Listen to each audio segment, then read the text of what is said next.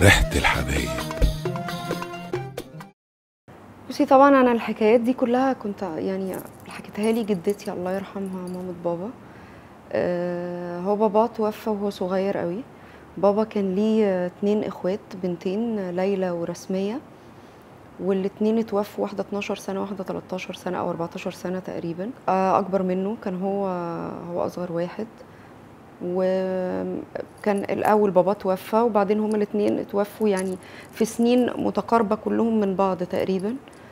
وكان هو عنده عشر سنين وقتها.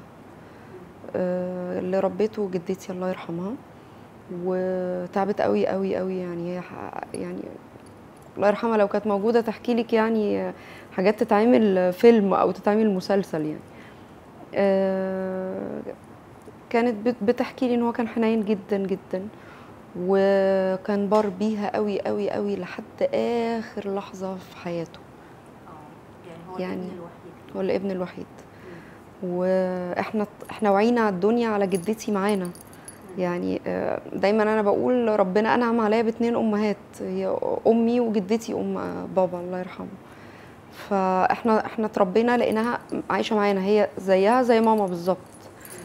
لحد ما كان كانت بتحكي لي إن هو كان بيركب القطر فكانت بتقول لي إنه لما كان يركب القطر ويروح البيت يجي آه، معاه كشكول راسم فيه كل الناس اللي قاعدين في القطر.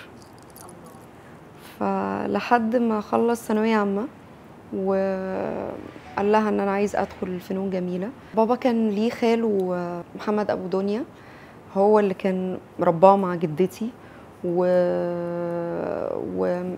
يعني يمكن هو بيعتبره زيه زي زي ولاده يعني بالظبط. و... وهو كان بيعتبر بيعتبره أب ليه.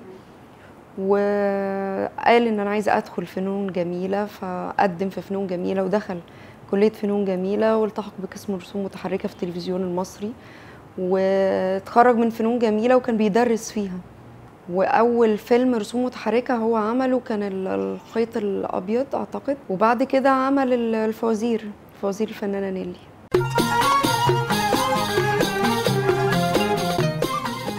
ريحة الحبايب.